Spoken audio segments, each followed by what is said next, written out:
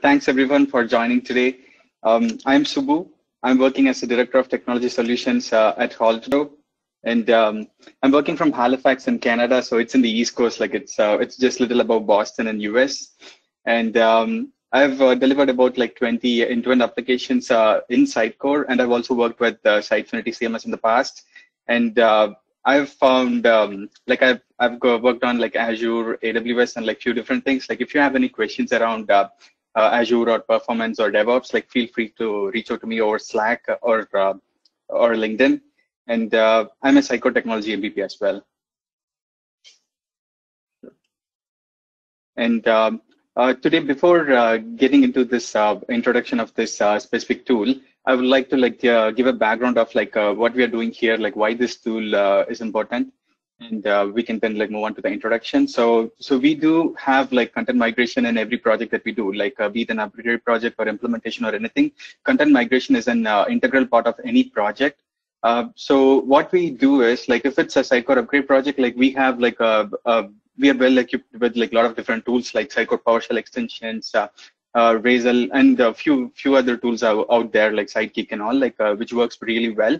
Uh, but if we work on like any implementation project, if we are migrating to Sitecore, or if we are uh, switching from one framework to another, and uh, that's a hot topic now, like because like a lot of clients are like looking to move to composable DXP, like uh, to a headless solution.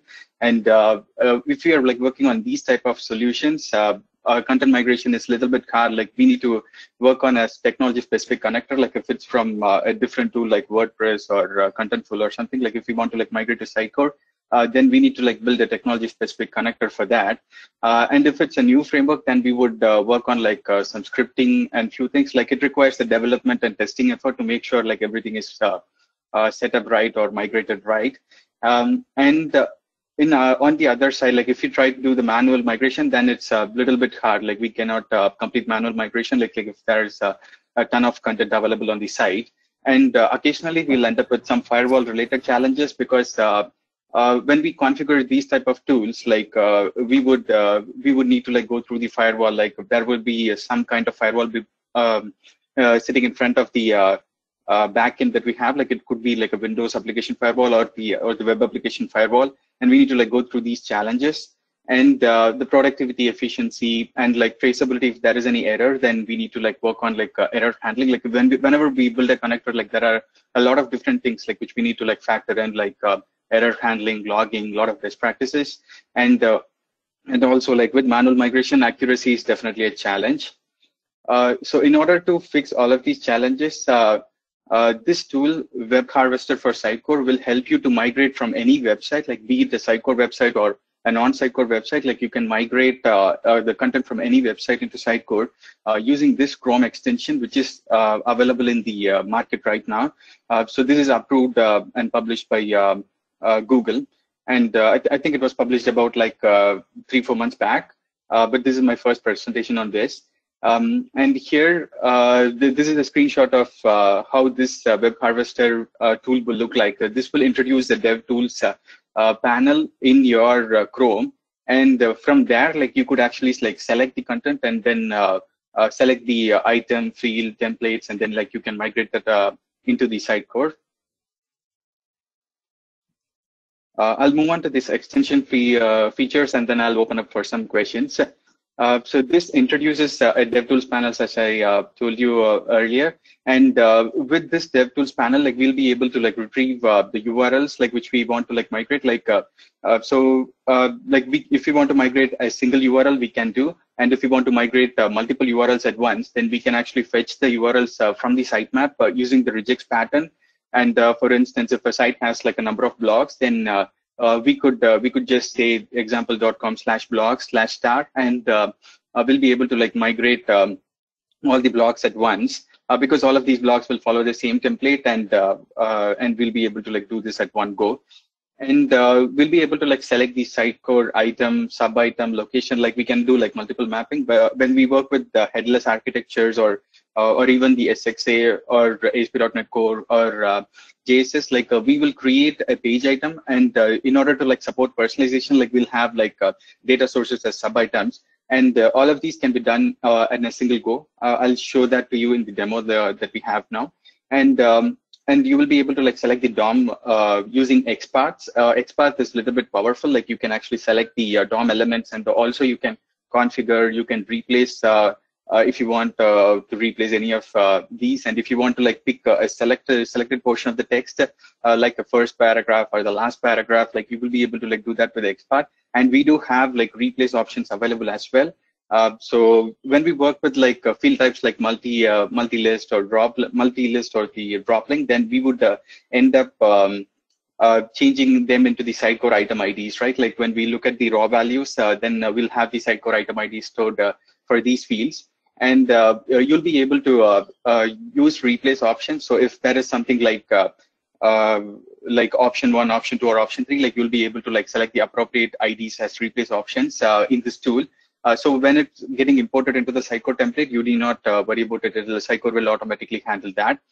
And uh, this module also requires an SP module if you want to like migrate um, media items. this is primarily because um, we use item services. Uh, this Chrome extension uh, speaks to your Sitecore instance through, uh, through the item services. And uh, uh, item services doesn't support in, uh, importing media item because it doesn't support importing the binary things. And, and hence, this SP module is required. with this SP module, and if you enable this RESTful feature of this SP module, then you'll be able to like import the media items easily. And, and also we have this modify and rerun option, like you can now save the uh, schema that you are selecting here, and then uh, you have the option to uh, uh go back to the history and then uh, rerun it again.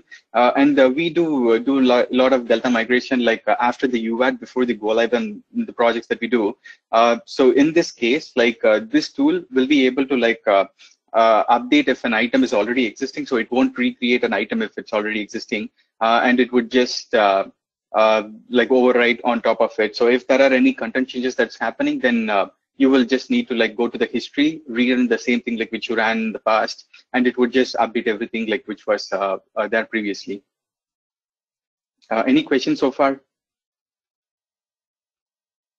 Um, just from me, so this is basically going to scrape the site or crawl the site, and uh, we're going to somehow configure uh, the data from the site to be exported into Sitecore, and that's the main part of it, right? The configuration. Yeah, yeah, Okay, cool. Yeah, that's right. Yeah. Okay, sounds good. So it, it doesn't matter what the site is built on, as long as it's like yeah. some sort of consistency is there in the HTML.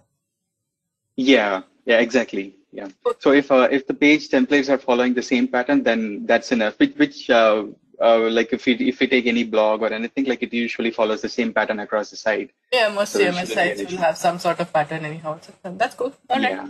Nice. And uh, here are a couple of prerequisites. Like uh, we use item service uh, RESTful API.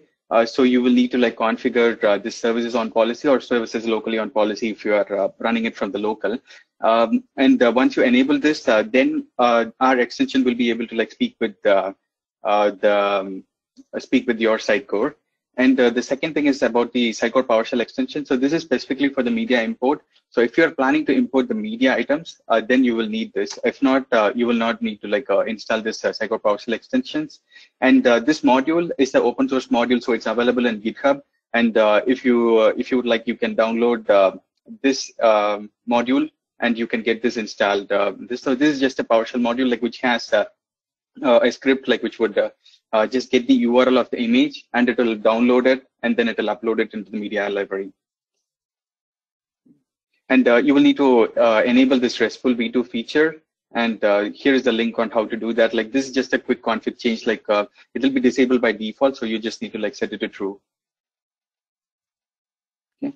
And uh, another thing which I wanted to highlight is uh, we are not uh, collecting any uh, information from this like because this is just like handled by google and everything like you provide within this uh, module stays within your module. So uh, so the privacy is good. Uh, you can also review the privacy policy here. It's in the github. So no information is collected. So just only the number of users is collected. Like if you have installed it then the number would go from like 15 to 16 and then the country information is collected. Like if you're installing it from india then india would be uh, listing on my analytics. Otherwise, like nothing else, like uh, no personal information, uh, no environment information, nothing is collected. And uh, another thing to note here is um, uh, since the PowerShell works on uh, th this PowerShell RESTful v2 feature requires your credentials. So you can either like enable this for anonymous users. This RESTful v2 can be enabled for anonymous users, or you can provide a user and then you can provide the user ID and password in the Chrome extension. So it's up to you. Uh, if it's a local instance, you can enable it for anonymous users, but if not, uh, uh, then you can do the user ID and password. Uh, but uh, but it's not uh, collected anywhere other than your browser. Okay, so let's look at some demo.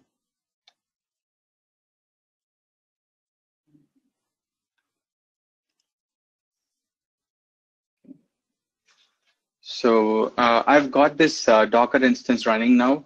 Um, and I hope you might be familiar that uh, Play Summit is the new Sitecore uh, demo. Like, like Lighthouse was, Lighthouse is still available, uh, and this is a composable demo from Sitecore. Uh, I've used this uh, Play Summit, and I've also like edited a little bit on top of that uh, to make it work and to make it easily understandable. so what I've done here is like I've created like two sites. Um, and uh, for this demo, I'm considering that uh, I'm considering the second option, like which I mentioned uh, in my problem statement, which is uh, migrating from a traditional architecture like uh, MVC or even SXA into the headless architecture. So this is the scenario that I'm considering now. But uh, but you will see that like it works for like any website, like irrespective of the technology. so here you see we have this traditional website, which has a home node and data node, and it has like few sessions uh, sessions. And these are the sessions like which we'll be migrating from this old uh, uh, framework into the new framework. So I've called this as composable. And uh, under the sessions, like we, we have only the page components, which is an empty folder right now. So we'll be migrating into this sessions. And I've created like a few templates. if you can see here, under this composable, I have this uh, session, session info, and synopsis. Like these two are data templates, and this is the page template. Uh, so I'm planning to like migrate uh, based on this template into this Sitecore instance under uh, these sessions. And um, uh, this is the demo site I've got. And uh, you will need to go to this web harvester for Sitecore. You will need to search from the Google Web Store, and you will need to like click on Add to Chrome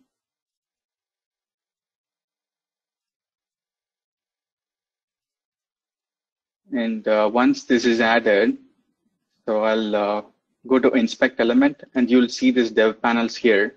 Uh, I'll just refresh this page because what happens is uh, uh, since we need to like select these DOMs, uh, there will be a, a, tiny script like which will which will be added onto this page, which will allow you to like which will just add some colors like when we hover on certain elements, like you'll see this during the demo. So that's why I'm just refreshing the page. So after I install the inst extension, so now uh, I'm trying to like uh, fetch the URLs from sitemap. Uh, so this is the sitemap that I've got. Uh, and I'm just, uh, so this will auto populate uh, based on the URL that you are having. If I want, like I can change this regex based on my need. And also if the sitemap URL is different, you will need to change that. So when I click on fetch URLs, there are 25 URLs which are following this, which are which are under the sessions in the sitemap and you can see that uh, it's getting added here. And uh, I'm planning to migrate to the same instance, so I'm just copying this and pasting it here. So if it's uh, if you're already logged into this instance, then uh, you will see a tick mark here. If not, you will see a red button like which says uh, authenticate to proceed, and you will need to authenticate uh, because this item services like works based on the authentication and uh, it, it'll just open a new window in the same browser and you will need to authenticate. That's it. Since i've already logged in here it's not asking me for to authenticate now. And uh, uh, as we discussed i'm planning to migrate this into this sessions and uh, the template would be um, i'm planning to create it based on this sessions template and uh, what it actually does is uh, when I select this template type, it would populate the fields here. And um, I'll select this. So this is the one which I was uh, referring to uh, earlier. So you will need to refresh the page after installing the extension so that uh, it will find uh, the exact thing. And you will also see a little hover to understand like what text is being selected. And uh, I'm adding another mapping section here.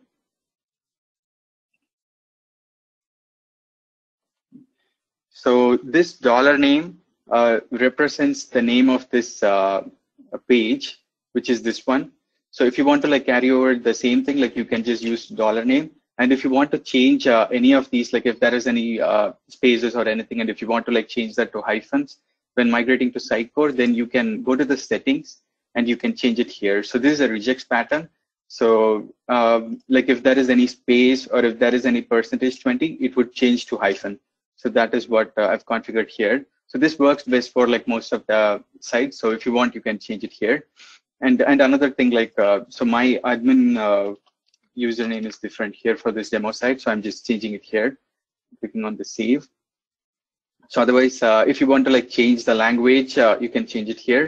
And uh, if the item already exists, you can uh, select if you would, if you would like to skip or update item. So I'll just keep it as update item here. And um, under this, so now, um, so we are we are going to like create a sub item. Uh, so this is the primary page item, and under this, uh, I'm going to create a page components uh, item. So which is just an empty data folder.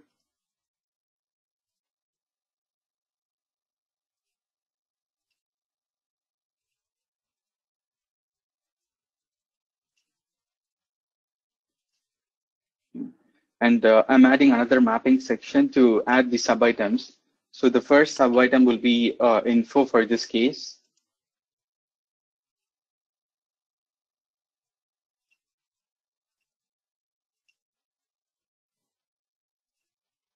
So I'm going to like select this location here. And the second field is the day.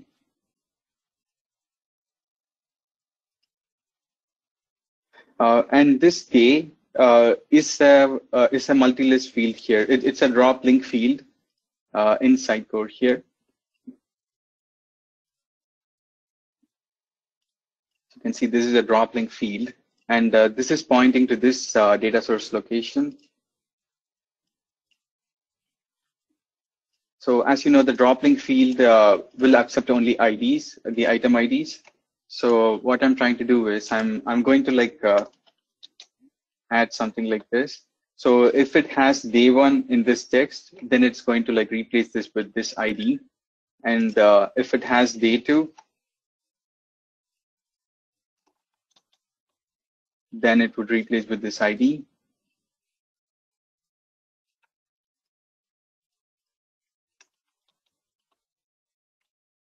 So uh, this also accepts regex. So if you want to like uh, do regex patterns, then you could do uh, here as well. And uh, the next thing is uh, this time and uh, and the image.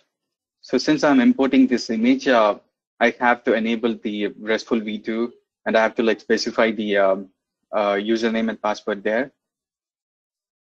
So uh, one thing to note here is like when I add this image, um, so this uh, the image like what happens is like uh, in case of the XPath, so this is the XPath like uh, which is uh, automatically populated, right? Like if you see here, um, so if I try to like search based on the XPath, like you will see that it is highlighting this uh, tag itself, but it doesn't have any inner text and it just has this SRC attribute like where it has the uh, ID. So basically, we need to like get the uh, um, get the source attribute value. Uh, so what I need to do is here, I will need to like uh, add the uh, SRC attribute. So in order to make sure you are selecting the right one, like you will see an uh, orange bar here. So which will which will say you like you need to like select the appropriate attribute text and and you can select it. Like this will just highlight only for the image and link field types because in the link field as well, like we would need to select the uh, href attribute, right? Like, but uh, but for all other like single line single line text, uh, rich text, and drop link and all, like you will be able to like select the um, uh, text directly. But only for the image and link field, like you will see an orange icon, like which will ask you to like select the attribute.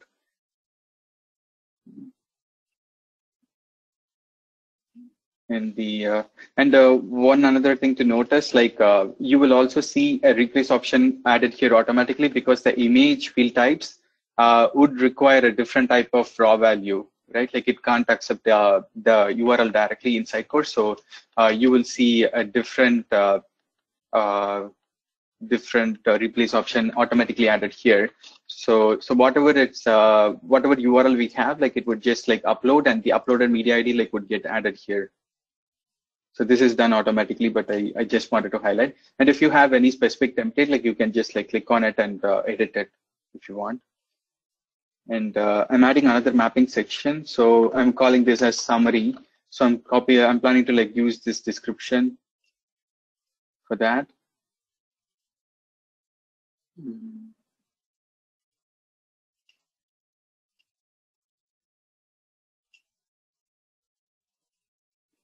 So for this summary, I'm planning to copy this uh, description here. And uh, another thing which I forgot to do is uh, this media path. Uh, so we need to specify like which media path it has to import to. Otherwise, it would directly get added into the media library.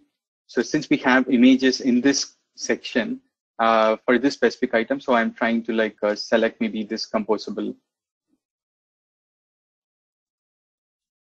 Okay. Sure and uh, make sure if I've selected everything fine. Yeah, uh, and uh, another thing which I wanted to highlight is like uh, there may be cases where uh, you need uh, a multi-list field, so you will need to like select multiple items. Like I didn't find that here, but but if you have such need, then you will be you you will need to like double click here on this icon, and then you will be able to like select multiple item multiple locations. So if it's a multi-list field and if you want to like select multiple values, and uh, once selected, you will need to like come back here and then click on this icon. So what it does is like it will copy more than one XPath. Like you will see that uh, it's separated by this uh, this pipe symbol, and uh, and when migrating into Sitecore, like it will have uh, a pipe break uh, so that it will get um, it will be accepted by the multi-list field. So we don't need this here. So I just close and uh, click on this import. And uh, you will have an option to abort if you have selected something wrong. And uh, let me click on view log here. Uh, what it does is like we have found like 25 URLs. So all of these 25 URLs will be imported first uh, by this extension, and it would process all of them like based on these XPath, and uh, it will migrate them into Sitecore one by one. And um, as you can see here, like uh, this will give you a clear log. Uh, if something has failed, it will indicate as well for any reason. Like uh, uh, in certain pages, like we might not have the XPath, so you will get you'll get a clear indication in this report. And uh, you can also navigate to like history tab and just click on the view log and find out what is missing in the future as well. And the this Go item will take you to the horizon if horizon is set up and uh, if Horizon is not set up, then it will take you to the content editor. Uh, so now the import is completed. Let's go and validate. So now, uh, so we have uh, this template. Uh, so we uh, we selected this name and page title, and then this page components doesn't have anything. And uh, here you can see the, the location, date, time which we selected. And uh, and one issue with the image, I'll, I'll come back to this image issue. And uh, the summary is also imported here now. Uh, let's go and check this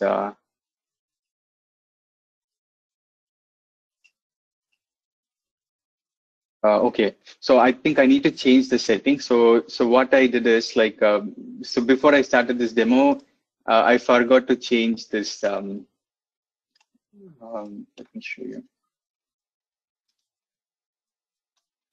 So uh, yesterday night I got everything set up, and uh, today morning, like uh, the uh, there was some Windows updated seams, so the Docker stopped working. So I started it just before the demo, and um, and I couldn't complete this. So I think I forgot to like enable the RESTful v2 here.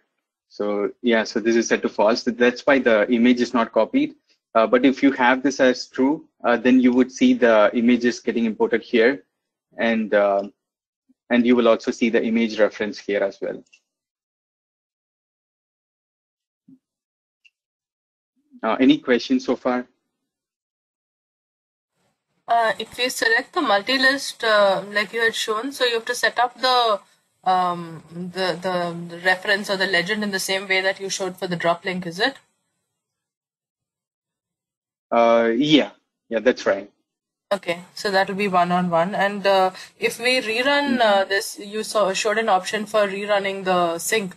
Um, does Yeah. that uh, create uh, versions in Sitecore or it just overrides? Uh, it overrides now, uh, Okay. but but that's a good point. Uh, yeah, I'll probably add this as, as an improvement for this. Okay, cool. Uh, thanks, And, thanks uh, for bringing that up. Yeah. Sure. Um, the um, can you go back to the mapping to that import section? Sure.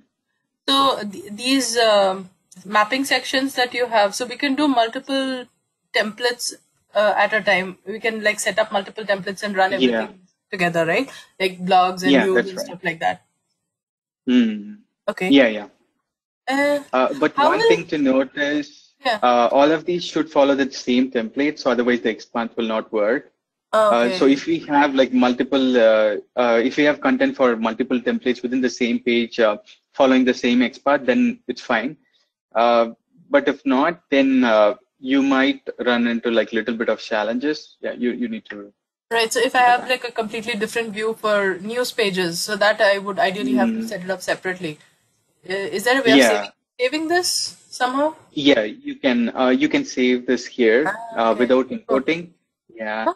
and also you can come back here and uh, rerun it. Like you will see like Ah. which all uh, uh, URLs are imported and the security URLs. And when you click on modify and rerun, like everything would get populated here, and you can also edit and rerun. Okay, and last one from me. Uh, so we in on Sitecore side of things, you're just uh, using the default item create, right? So if you have like things like buckets and all set up, it's it's gonna uh, automatically fall in place, right?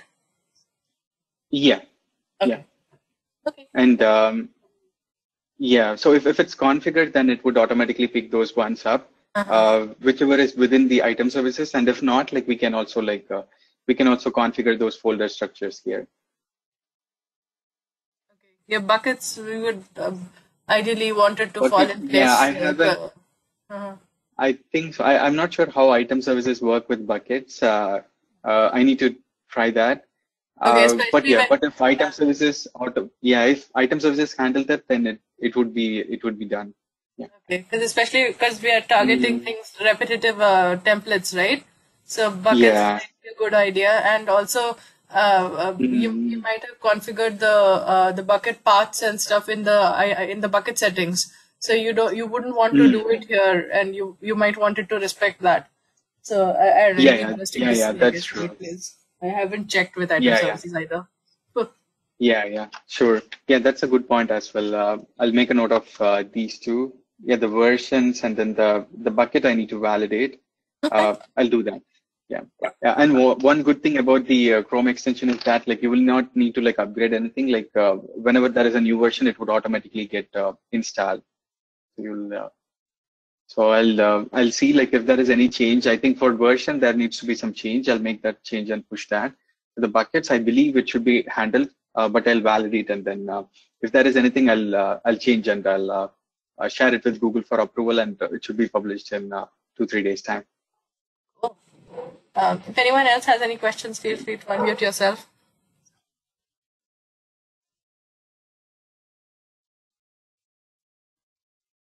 I think we can go on. Sure. And uh, so before we move back to the slides, uh, I would like to show this. Uh, uh, so since this is an open source module, like I would like to show like how uh, uh, I've configured a few things here. So uh, when you go to this GitHub repository, like you will see that um, uh, there are four major sections here. So the first one is the content scripts.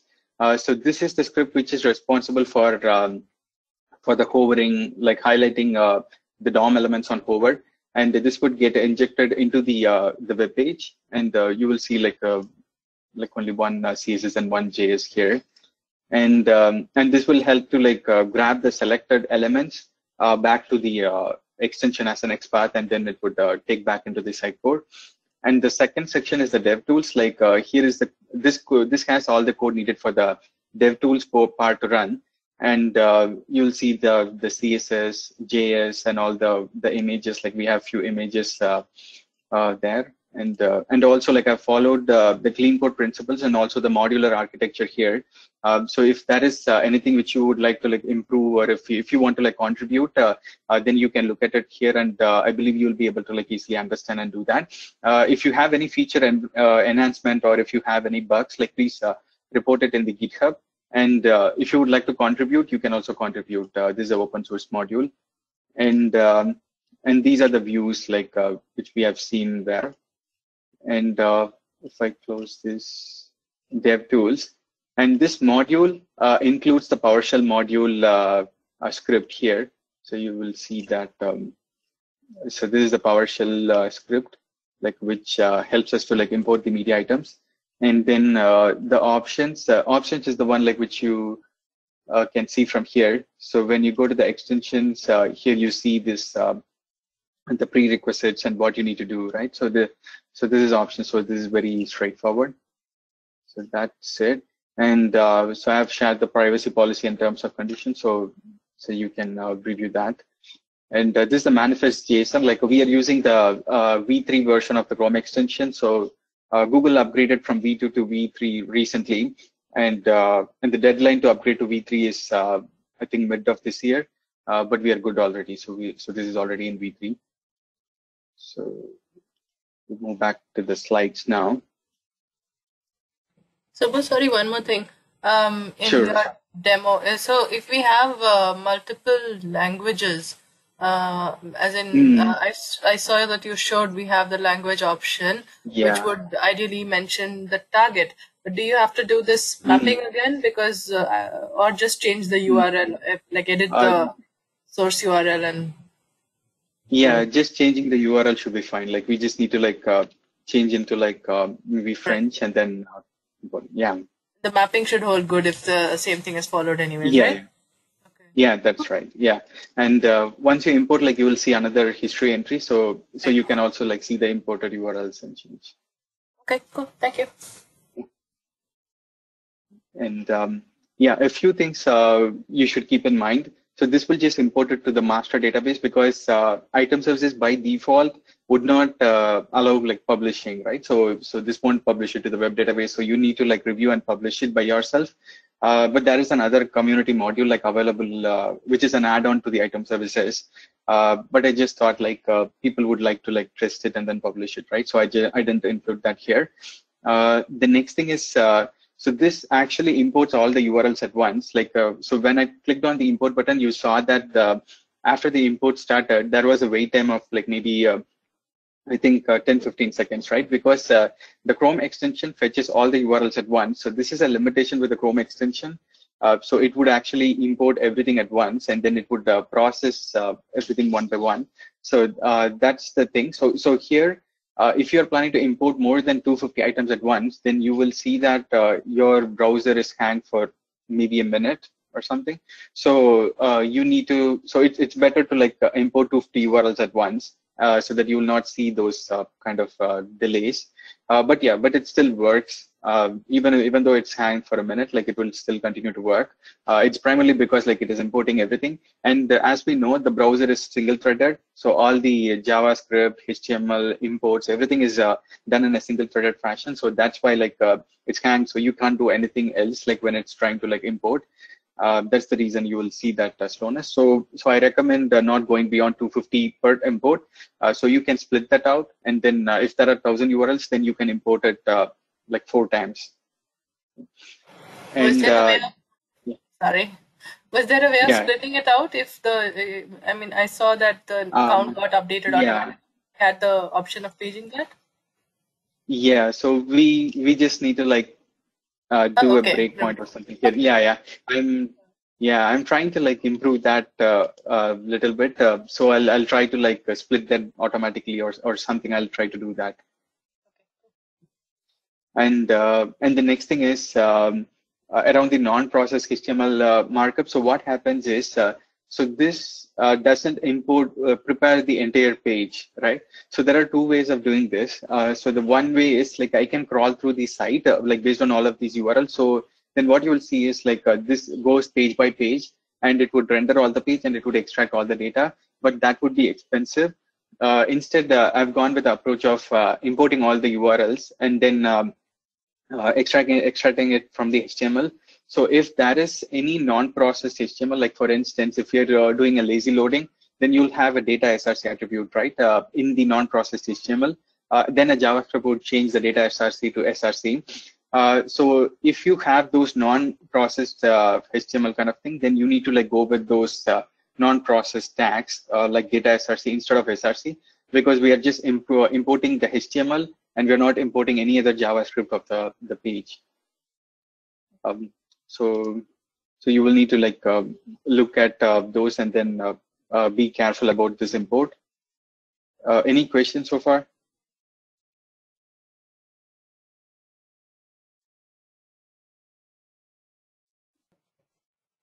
Nope, you can go on. Okay, sure. Um, otherwise, I'm pretty much done. So here are the resources that we have got. So this is the uh, web store link and uh, this is a blog like which uh, which covers everything which we discussed. So you need not remember like if you have any questions you can go to this blog and uh, check it check this out. And uh, this is a demo link uh, and uh, and this is in github. So entire code is in github like you can look at it. And if you have any issues feel free to like create these issues. And if you would like to contribute you can also contribute as well. And like if there is any feature environment enhancement please let me know and uh, if you have uh, any feedback, like um, just feel free to like post it uh, uh in the Google Web Store as well. Uh, so I got few positive feedbacks from the community, like uh, through LinkedIn. But but yeah, if you can like post it through the um, through the Chrome extensions, then it would be really great. Like it would help for the SIBO and it would help to reach many people. Uh, that's it. So if you have any questions around this, uh, please feel free to reach out to me or Slack. I'll be online there. And uh, and also uh, you can reach out to me uh, through these email links. And also I'm available at LinkedIn and Twitter as well. please do reach out if you have any questions.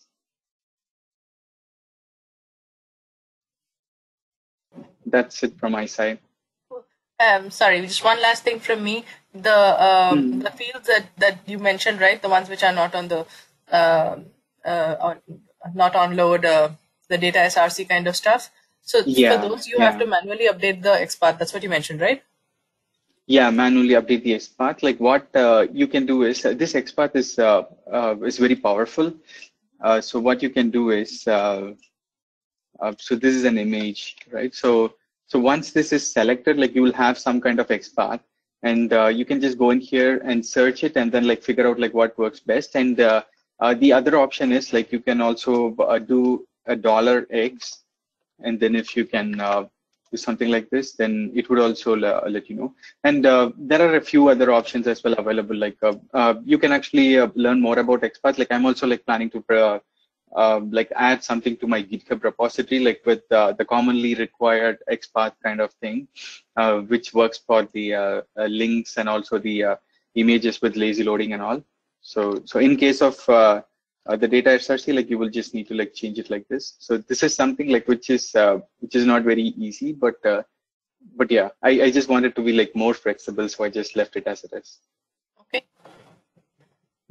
And uh, another thing to highlight uh, here is the replace option. So if you have, um, uh, so this doesn't, uh, uh, you need, you can use this for any other reason as well. So if you want to like change any content, like uh, it might be day one in this site, but if you want to like change it to like maybe something like a date, date one or what any anything else, or here if you will see that this is in maybe in the UTC time and you would like to like change it to EST, then you can also change it uh, as part of this import.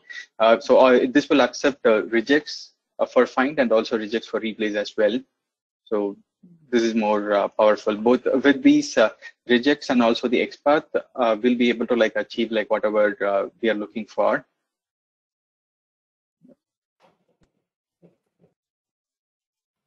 Sure.